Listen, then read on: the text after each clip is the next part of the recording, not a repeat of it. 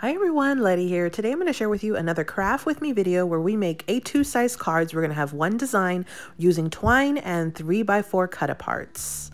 So again, this was the extension of the Smash Our Stash 2022 collab. I'm using cardstock and I'm also using twine this month. So here is the card sample that I'll be making. I have a card base, card mats, cut apart. I have some embellishments, some twine. We will be making this same card design today on video. So, and then the collection I'm using is called Made with Love by Doodlebug. Super cute. This is the same collection I used for my last video, which I'll have linked down below. I'm using some Dollar Tree twine. I'm using the Trinity Stamps Funfetti Love Embellishment Mix. Uh, if you saw my recent Not Too Shabby video, you saw I got that for free. I'll link that video down below as well. Um, and here I've already prepped all of my cards. And what we'll do is we'll assemble one together slowly and then I'll just kind of speed through finishing off the remaining. So I have my cut apart, a cut apart mat, and I'll list all the dimensions down below. This one is a three by four cut apart and a three and a quarter by four and a quarter mat. And then what I did was I die cut out of the center of the cardstock to kind of use up my stash as best as I could. I die cut out that stamped image and I figured I would use it as an anchor embellishment behind my cut apart on the front of my card, just like this. So, and then the dies I'm using are from Queenacraft. Um, this is a stitched stamp die that I had gotten. And the goal here was try to find a die that was smaller than the cut apart. So that way I would make sure I had, had room to glue the cut apart right on top of the cardstock mat. So here I have all of my items I'll be using. Again, we will assemble on camera. And so you see here, was this was kind of the layout. I figured I would just twist this little stamp a little bit, add my embellishments, and then add some twine at the bottom, just like this. Okay, so let's go ahead and make this card together. So what I'm going to do is I have all of my items. I'm going to put the uh, card base to the side because that's going to be the item that we do at the very end. I'm going to start by decorating my card mat. So I'm going to glue my cut apart to my cardstock mat, first of all. And I'm just adding a little bit of glue to the edges of the cut apart so I don't glue right in the center yet. Then I'm going to take that little stamp die cut and I'm going to angle it and glue it down at the bottom left-hand corner of my card mat. Just like this. And I angled it just to give it some additional, just kind of fun dimension.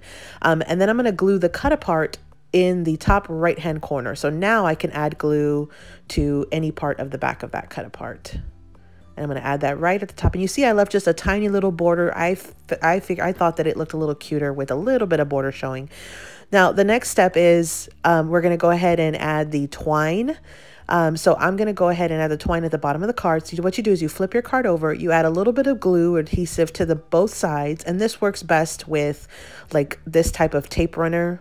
Um, you're going to go ahead and add your twine, make sure that it sticks to one side, and then you're basically going to wrap it around three times to where you have three segments, or you could do as many as you want, but I'm using three and for the purpose of this video.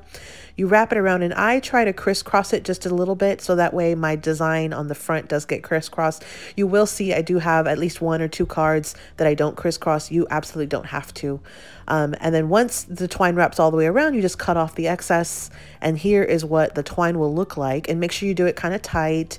Um, now I'm going to add plenty of glue to the back of my uh, card mat so I can then add it to my card base.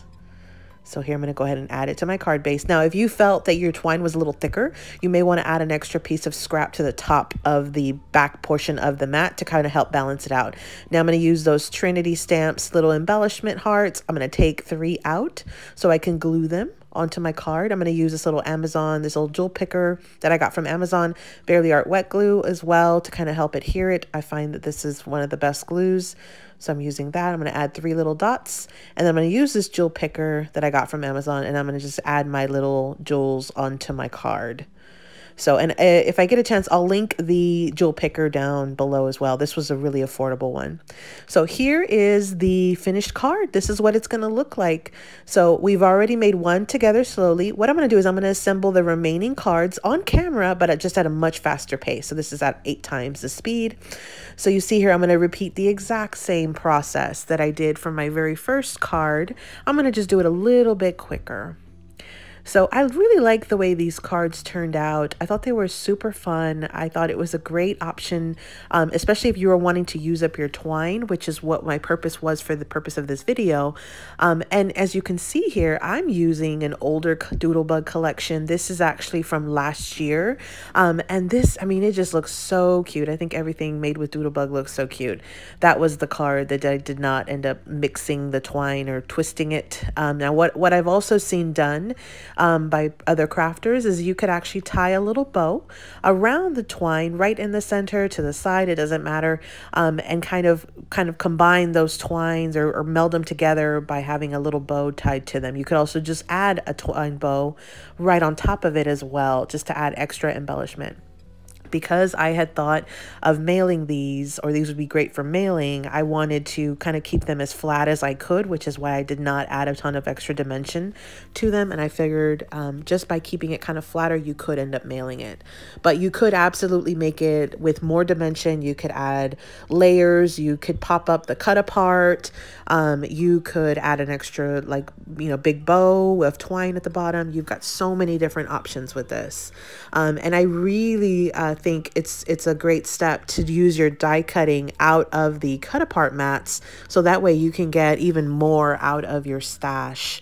Um, and so like I said here, I just tried to find a die cut that would fit right in the center of that cut apart so that way I knew I had plenty of room to glue uh, that cut apart directly to the cut apart mat.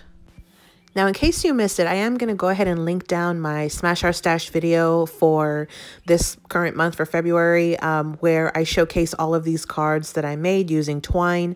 I am also going to link the other tutorial videos. I ended up putting out a total of four tutorial videos, including this one, where I share my process videos uh, for the different cards that I made for that collab this month. So I'll definitely link all of that down below, including I'll list the dimensions that I'm using for this card, in case you do want to replicate or do something very similar to, you know, with the same card design. So definitely check it out in the description box below. If you have not subscribed to my channel, I, I would welcome you to do so. My videos, I try to keep them short. I try to do crafty uh, tutorials as much as I can. I also do craft with me's. I do um, share some of the hauls that I, I, purchase, um, usually online, but sometimes in stores. Um, so if that is something that is your jam, definitely check it out. Hit that, that bell so you can get notified when I do post a new video. Thanks so much for all of the subscribers, by the way. Um, so here I am actually going to go in and add my little heart embellishments to the cards. Um, I thought these were so cute, these hearts, and they're from Trinity Stamps. Um, as I mentioned uh, at the beginning of this video, this was one of the freebies that I got from Jamie's Not Too Shabby shop. I'll link the shop down below. Um, she had a uh, promotion where if you bought some of the new Trinity Stamps uh, new 2022 line that she just put out, um, she, she would actually, and it was the Valentine's Valentine's line, she would send you, uh, and, and you spent over $60, you would get this little embellishment set as a freebie. And so I thought these were so cute. Um, and so I purchased from her shop recently, and I'll link that haul down below so you can see it as well. Um, and I went ahead and thought they'd be perfect for this Doodlebug collection set, and I thought they were just perfect at, for adding an extra embellishment. Now let's go ahead and do a final recap. Here are my cards. So here's the first one. So super cute. I really like how these cards came together. I felt like this was a, an excellent way to use up your twine um, and to use up those cut aparts. Most collection kits do come with cut aparts. These were four three by fours. Um, and so I thought this was just a great way of using those cut aparts to make a ton of really quick and easy cards um, that are just so, so cute. So here it is. And so, um, the, again, the collection I'm using is Made with Love by Doodlebug. We made 12 cards of A2 size using one layout and also using twine and some of those 3x4 cut aparts to come in our kits. Thanks for visiting everyone. Hope you subscribe, like this video, follow me on Instagram. Here are a couple of videos I think you might enjoy. Happy crafting!